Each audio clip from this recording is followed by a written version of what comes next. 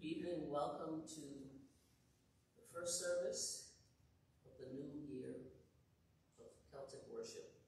It's wonderful to have you all here with us, you here present and you online, for the first service of the season. It's the Celtic season of Lunasa, a time of harvest and gathering. In our communities, we gather again in schools and places of worship and in our spiritual lives. It's a time of finishing things, pausing to take a breath as we enjoy these months of hopefully cooling temperatures, light, and color. Thank you for joining us.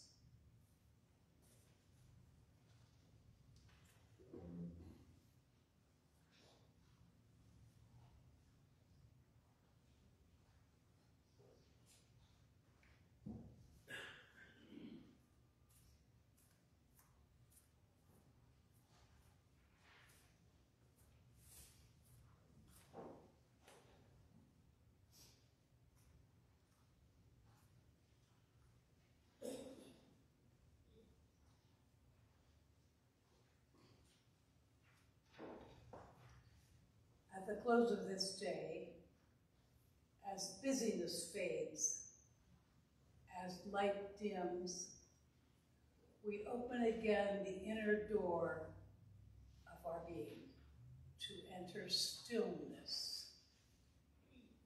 We come from many places. We come with many differences. We come each from journeys of our own. But here in this gathering place, here in this silent space, we take time together. For when paths cross and pilgrims gather, when dark waits and light shimmers, at the close of day, we find our way to you.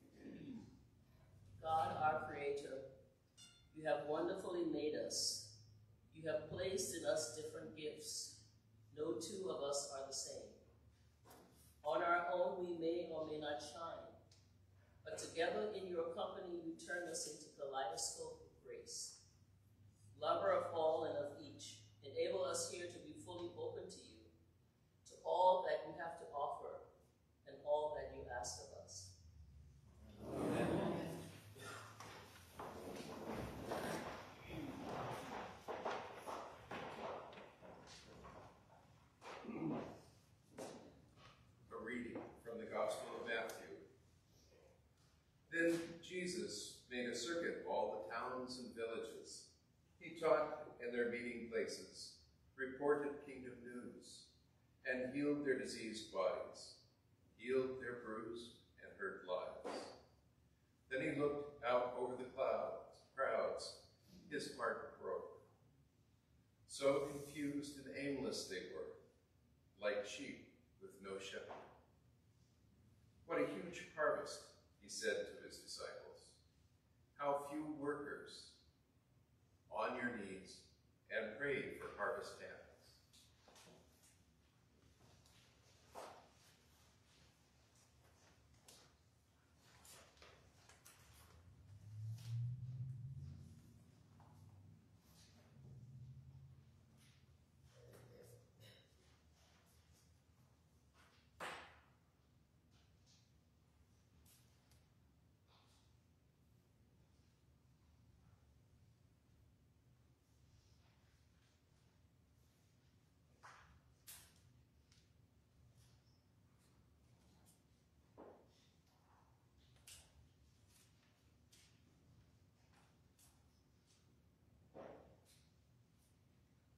Good evening. And thank you for being here um, as we begin another year of the Celtic Evensong Eucharist services at Trinity Parish. Let me introduce two people that I mentioned in my reflection who may be unfamiliar to you. And you will not have that little rabbit trail going, who is that? The first is Carrie Newcomer, my favorite musical artist who I can talk about all night long. For now, I will share with you from her website words that ring true for my experience of her. Carrie is known for her low and resonant voice, as rich as the Godiva chocolate, according to the Austin American Statesman for her musical depth and the progressive spiritual content of her songs, poetry, and workshops, and for her continued work in justice, spiritual and interfaith communities, and health and hunger organizations. In a time of deep divisions, Carrie has become a national voice for finding how we still connect at the heart of the human story. The other individual is Dr. Jill Bolte Taylor. Dr. Jill Bolte Taylor is a Harvard-trained and published neuroanatomist whose research specialized in understanding how our brain creates our perception of reality. She was interested in the subject because she has a brother who is diagnosed with the brain disorder schizophrenia. In 1996, she suffered a severe hemorrhage in the left hemisphere of her brain.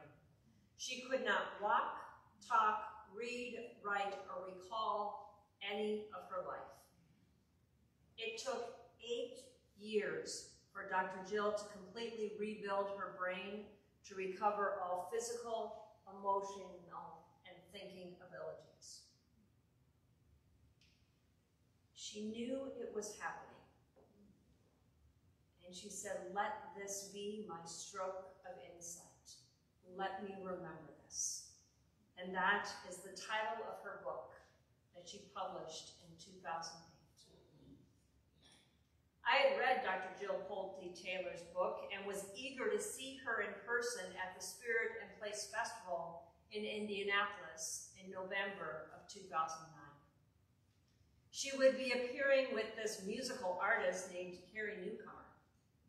Many of the women in the Women Touched by Grace program were so excited to see Carrie. I was clueless on her music. Two magnificent women spoke to the power of creativity and the functionality of the brain. At one point, they switched roles, and Carrie tried to talk about this is how the brain works. And when you have a creative trying to tell you how the brain works, was really messy. and Jill got out her guitar and played her song that she sings, inviting people to donate their brains for research. Carrie ended the evening singing The Gathering of Spirits.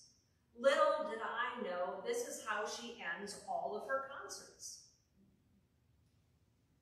And it makes sense, with the refrain reminding us how we are all gathered and then sent out into the world. Yeah, I thought about singing it, and I'm like, no, I'm gonna be out There's a gathering of spirits. There's a festival of friends. And we'll all take up where we left off when we all meet again. Mm-hmm. Ten years many of Carrie's concerts later, I was excited to share one of Carrie's songwriting workshops with my daughter, Abigail. By the time we had verified Abigail's school schedule, the workshop was sold out. My heart sank. We could still see Carrie in concert, and I wanted that songwriting experience as well. Wanted it because I wanted to share that magical experience with Abigail. Because in 2018, I had coordinated an all-class reunion of the Women Touched by Grace with Carrie as our keynote speaker. Together, 60 clergy women had written a song with Carrie's guidance, a feat I still marvel at. The desire to write a song in community with Abigail was strong. When faced with this type of challenge, I turned to creativity, curiosity, and courage. So not willing to give up, and with these three C's in mind, I emailed the event coordinator to see if there was room for two more in the workshop. I eagerly waited for a response, which came a few days later. The answer was yes. I was so excited. We stayed at a hotel near the University of Washington campus in Seattle, walking distance from University Congregational Church of Seattle, where the concert and workshop would be held. We later dubbed the hotel the Gnome Place because there were a lot of gnomes in the breakfast nook. Some were a little unnerving. The concert was phenomenal.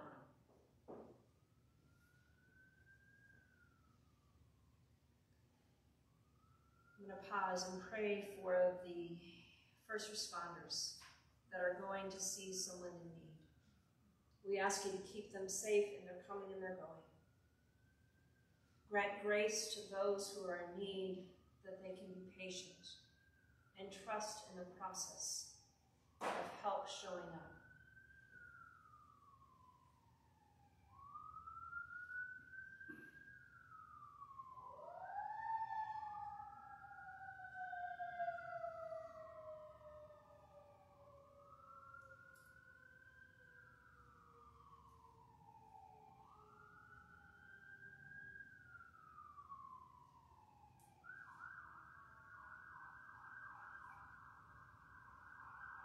It appears to be a great need.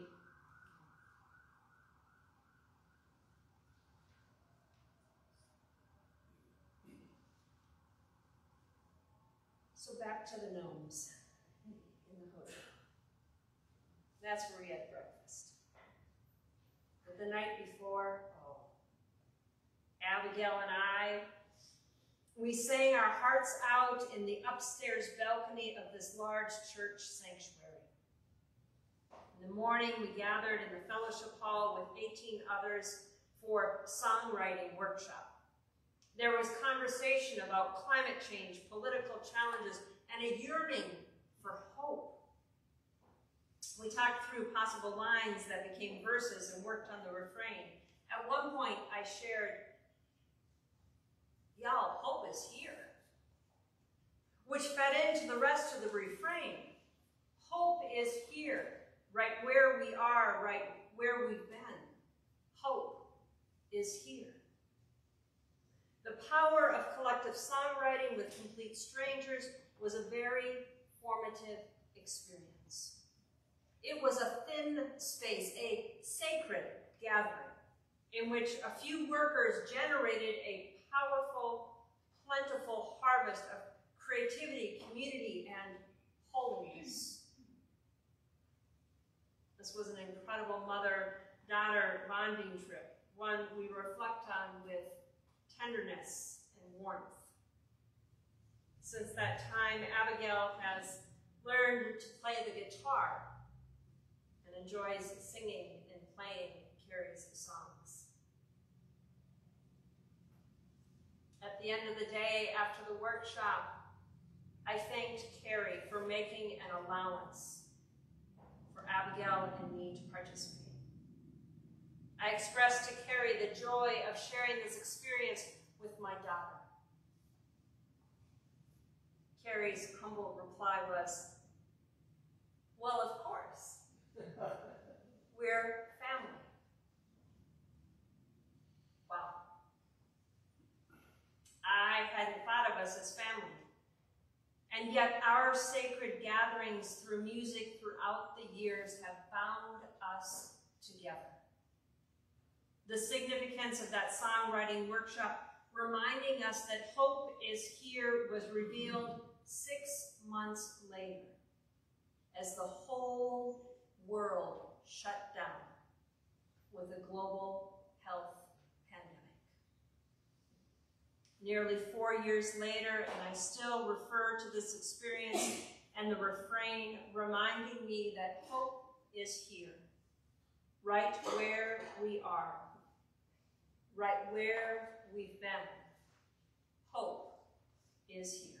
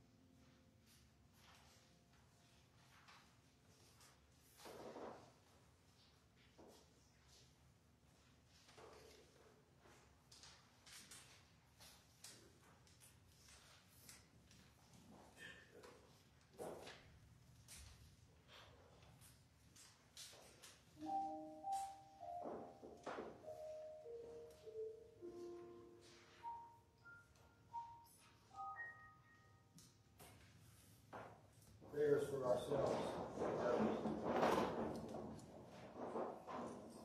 We pray that God will use us and our prayerful intentions in support of one another and for the healing of the world. Creator and lover of all, in the mystery of your kindness, you have bound us to each other and called us to serve the earth and its people. Let us be a center of faith, hospitality, and imagination. Hear our prayer. Careful, grateful for the life in our bodies. We pray for those who are diminished by ill health, depression, grief, or rejection. We ask for the healing, the affirming, the listening, which will encourage and restore them.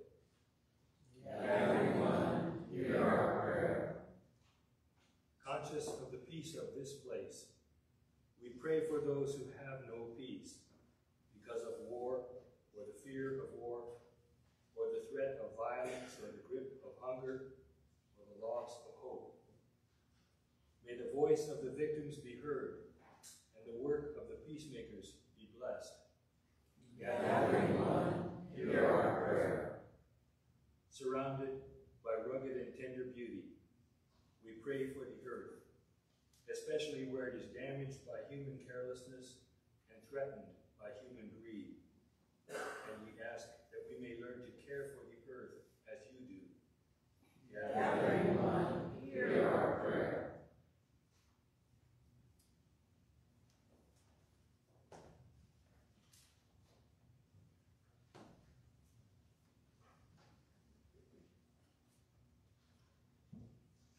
Circle us, O blessed three in one, with bonds of love that cannot be broken. My sisters and brothers,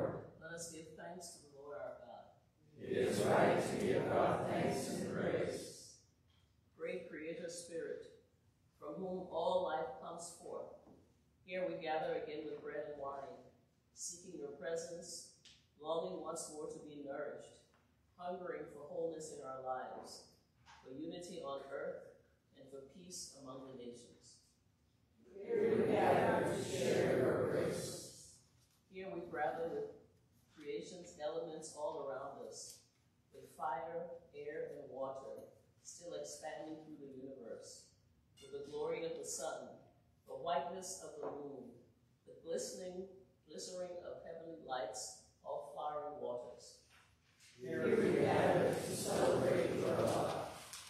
So with everything that we see and sense around us, the visible and invisible energies that pulse with life, we join our souls in the song that vibrates.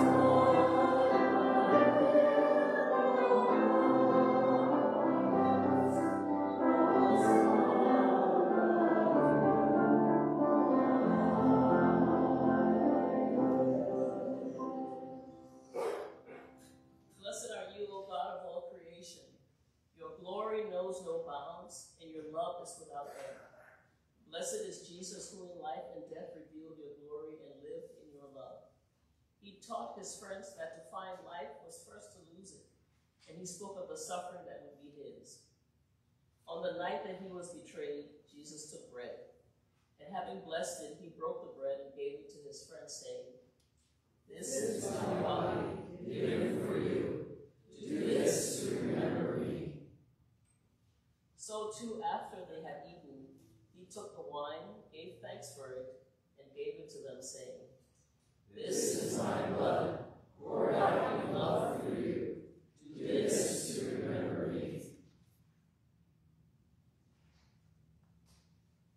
Come upon us with your Holy Spirit, O God, and upon this bread and wine, that they may be renewed once again, and that as the whole of life is made new, we may find your peace within and around us.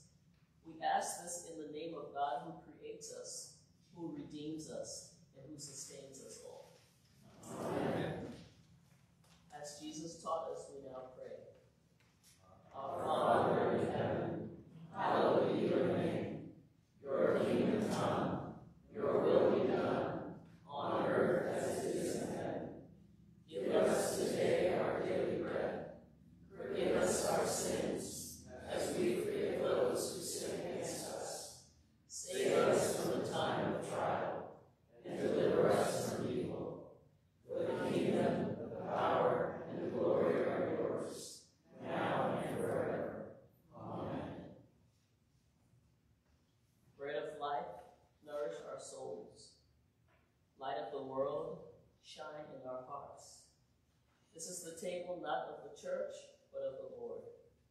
It is made ready for those who love him, and for those who want to love him more. So come, you who have much faith, and you who have little, you who have been here often, and you who have not been here long, you who have tried to follow, and you who have failed. Become because it is the Lord who invites you, and it is his will that those who want him